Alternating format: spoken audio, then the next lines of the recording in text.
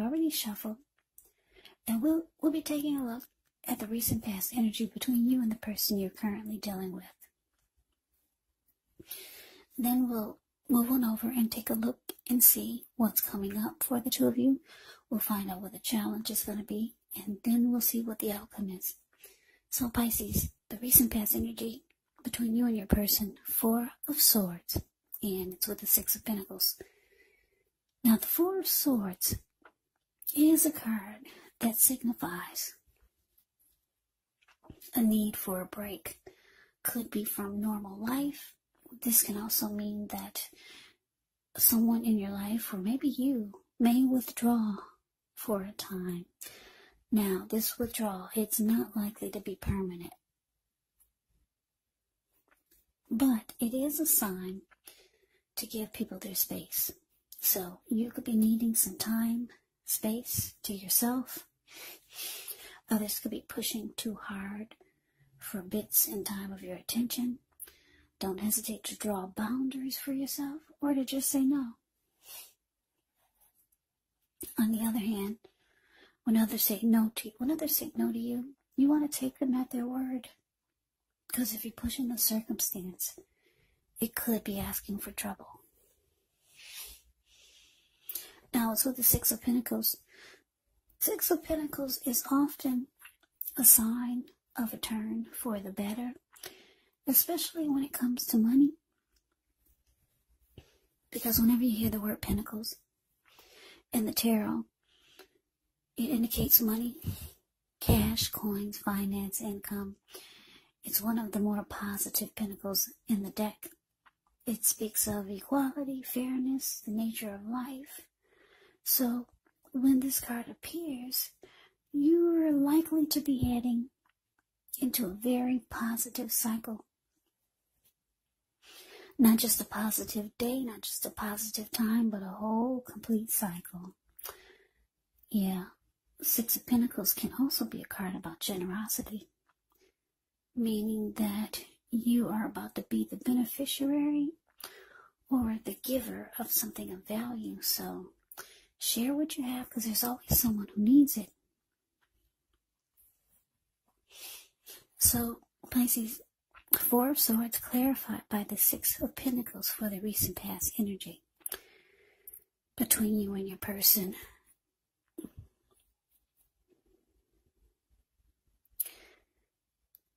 Yeah, so what I'm picking up on here is that you are dealing with someone who, um, well, there was not enough give and take in the connection.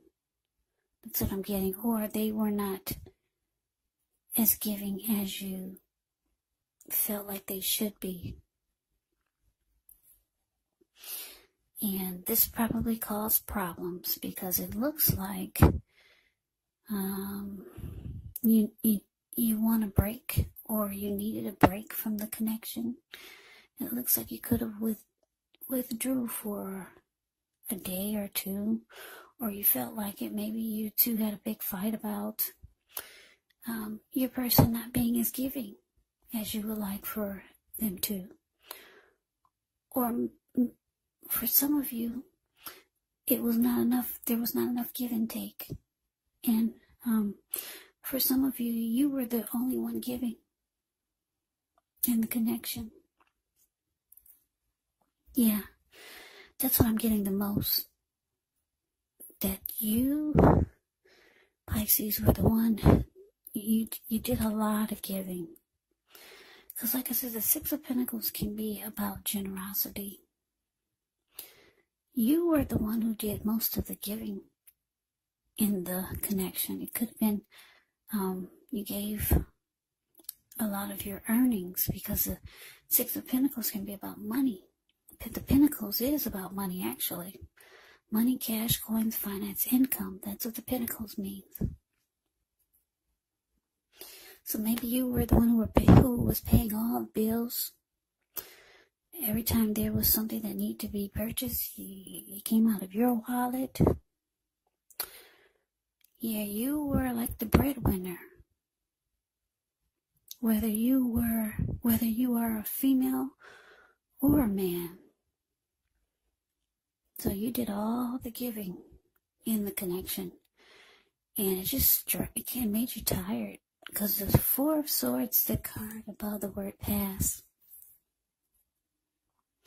it's about rest after struggle. Yeah.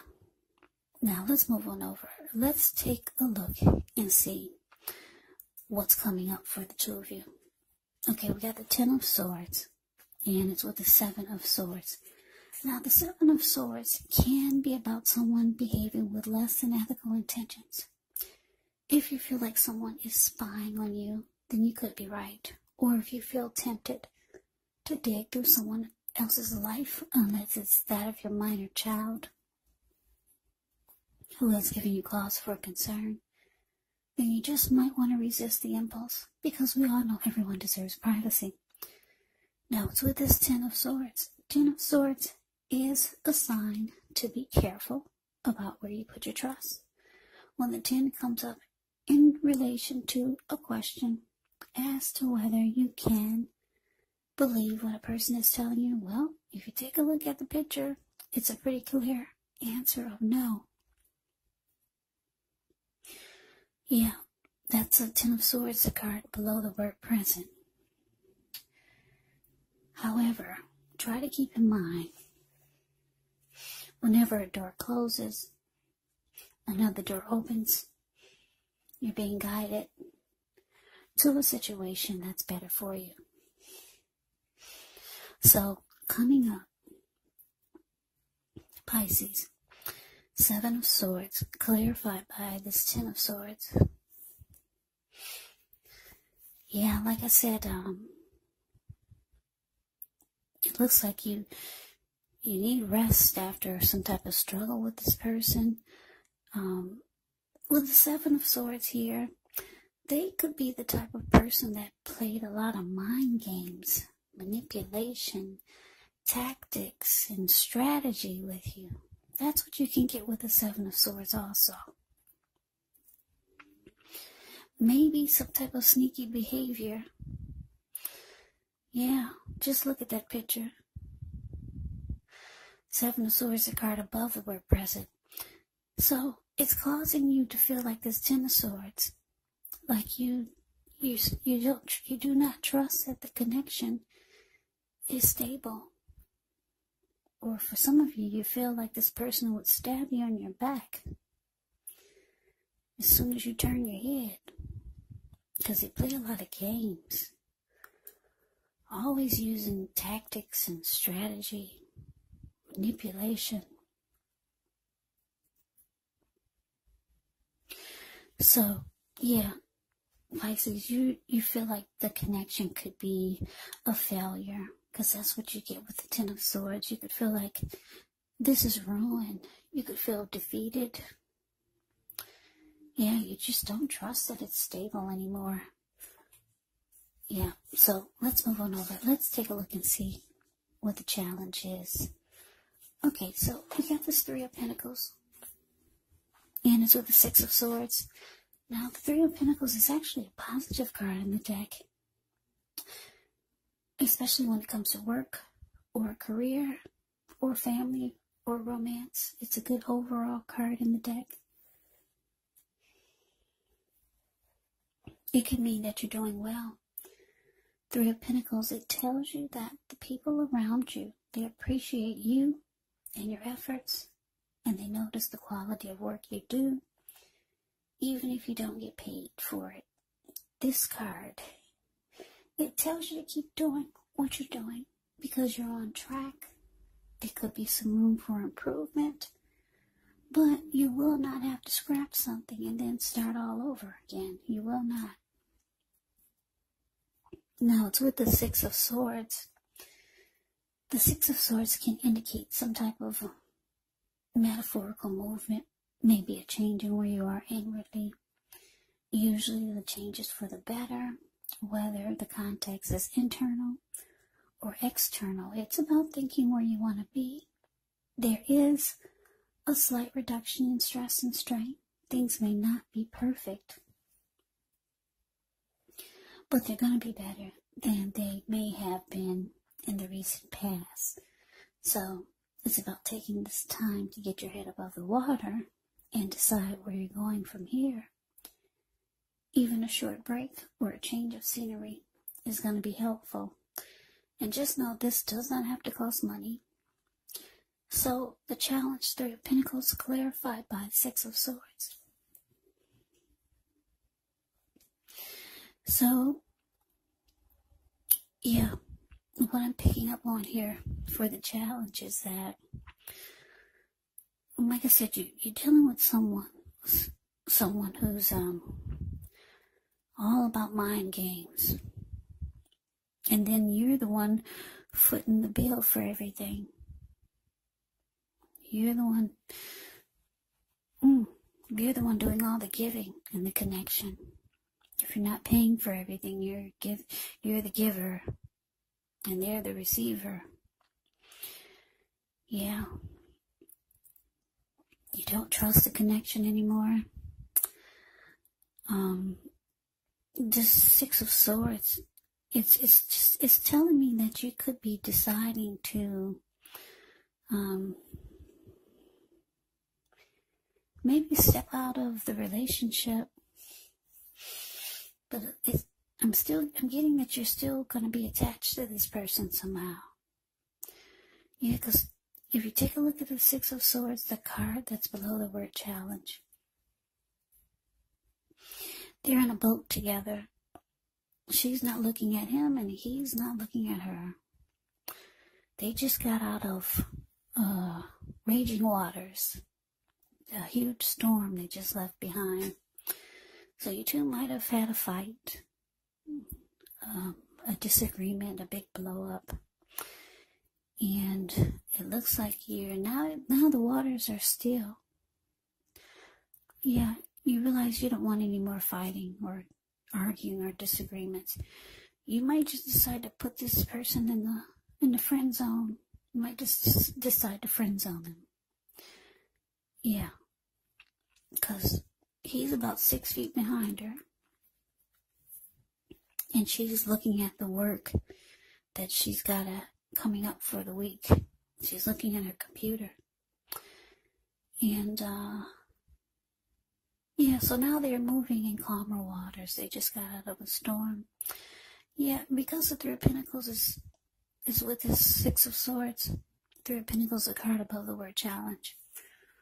Um, that's telling me that you're still kind of in this because you're in a boat there or a canoe or whatever that is.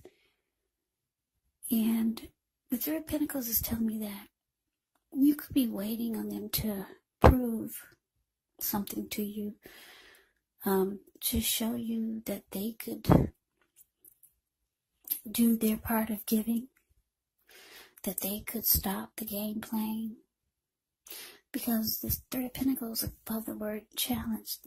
You see how those people are sitting at this man's feet and they're looking up like, wow. They're really impressed at what he's doing or what he's showing them. And this is this is what you need. If your person can't s- step up to the plate, or if they can't prove or show you that they can um, do better or just stop the the foolishness and and help help out more or just be more giving then yeah you got them in the friend zone. Mm, you need them to prove it or show it to you. That's that's what it's indicating here. But let's move on over. Let's see what the outcome is.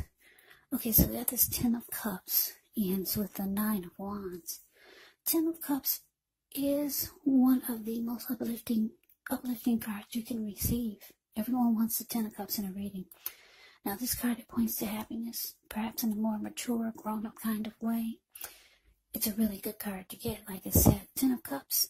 It speaks of a happy family, even if you're single, to the overall well-being that goes beyond you yourself to include those that you're most concerned about your parents, siblings, children, your pets, and much more.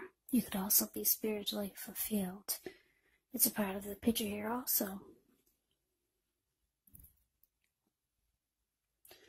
Now it's with the Nine of Wands. The Nine of Wands, um, when this card comes up, the first and the best step is usually to try to take a deep breath and calm down. Because this card can be, it can be about anxiety and worry. So don't let things that you're worried about overwhelm you. Take it one day at a time, one hour at a time if you can do so, because at least some of the worries, they're going to turn out to be imaginary.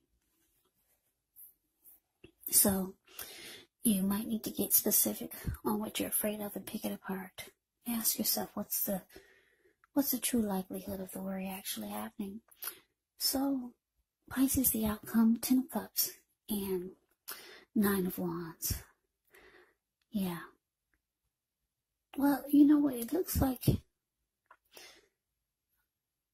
looks like for some of you, you're gonna you're gonna wait until you and your person get on the same page. Or if you're not waiting, I say waiting because I'm looking at the Six of Swords, but some of you are not to wait. You're closing yourself off because Nine of Wands, the card that's below the word outcome, is about closing yourself off. Yeah, back off. You're not letting anyone come past your barricade. You're building a wall up against this person so that they can't come be anywhere near you. Yeah. Until, for some of you, until the both of you get on the same page. Because this Ten of Cups can be about you and your person being on the same page. Yeah. It, of Cups can be about a dream come true. So some of you, you're waiting, but a lot of you, you're closing yourself off to, to this connection and you're done. For some of you. But I'm getting for a lot of you,